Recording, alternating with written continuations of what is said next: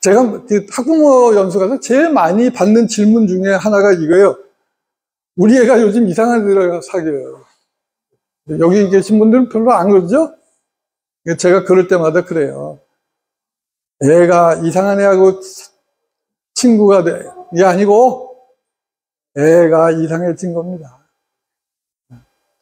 그러니까 아무리 그 애가 미워도 돈이 좀 들더라도 같이 사 먹이세요. 삼겹살도 사 먹, 같이 사 먹여요. 그러면 그리고 또 아까도 주의할 거 애들 밥 사 먹이고서 거기서 돈 좀 뽑으려고 그러면 안 된다. 그냥 그냥 사 먹여. 그래서 나중에 얘네들이 비행의 욕구가 생 담배도 펴보고 싶고 술도 마셔보고 그러고 싶고 외박도 해보고 싶고 그럴 때 못해. 왜?